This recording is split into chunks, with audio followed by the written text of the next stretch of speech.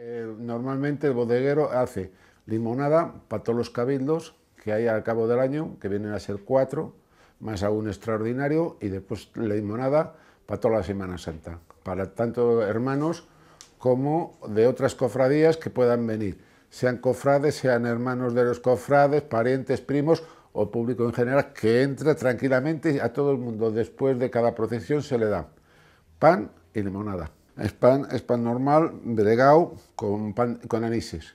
Se suele partir en medios o en cuatro cuartos, según la cantidad de hermanos que veamos, para hacerlo estirar. Porque después de cada procesión, según se entra, la verdad, se trae hambre. Todos los días menos el jueves santo. Y el, jueves santo por la noche y el viernes porque es ayuno. En cambio se da beber.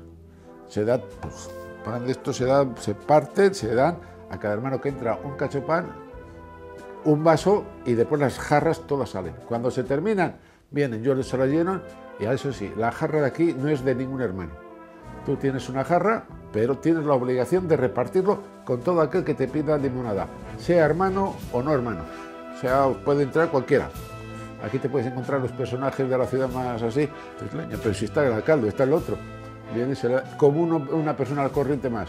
No se tienen distinciones especiales para ellos. Ese es el oficio normalmente. Ahora, prepararlo y después, eh, cuando se termina, recoger y limpiar. Eh, el secreto, digamos, la fórmula es sagrada, pero el secreto es agua, azúcar, limón y, vino. ¿eh? Se mezcla todo, tiene un tiempo de maceración determinado, que está dentro de la fórmula, y después se sirve. No tiene más secreto. Agua, limón, azúcar del otro eh, bodeguero que había, que fue el que, digamos, me traspasó la fórmula. Y esa fórmula es sagrada. Es más, yo tengo dos hijos, cofrades, y ninguno la sabe. Hasta que el cuerpo aguante. Cuando ya digamos, esto se acabó, al que venga le digo, esta es la fórmula, macho, y para ti solo. No, aquí el hermano mayor no la sabe, no la sabe nadie. Dentro de la cofradía, el único que la tiene soy yo. Hay algunos dicen, ah, echas esto, echas otro, eso. He hecho de todo. Además, hasta en risas, en brosa, cuando alguno dice, ¡ay, cómo está la limonada! Digo, es que esto está filtrado con calcetines de ocho días sudados, para cachondearnos de la gente, pero nada más. El resto, como ves, tanques limpios, higiénicamente, se tapan, ahora cuando ya digamos fermente, se tapan para que no coja polvo de ninguna clase. Antes en tinajas de barro, que estaba todo, digamos, toda la bodega alrededor llena de tinajas de 200 150 y 80 litros y de 30. Bueno, de hecho ahí tengo una tinaja de muestra. Normalmente la empiezo a hacer una semana antes de Semana Santa.